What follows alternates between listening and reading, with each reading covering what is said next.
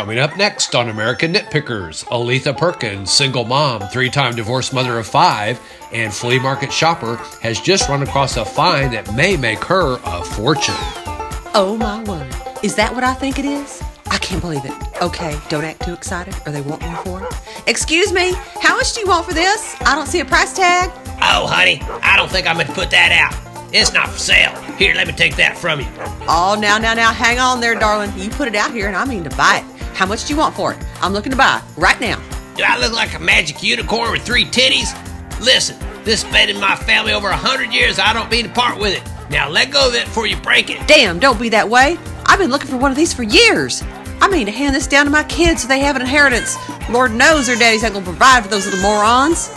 Well, sounds like you need it more than I do. I don't have any dumbass kids leave it to.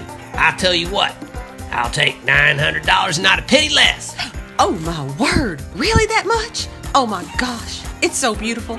I think I can sell one of the babies. I'll take it.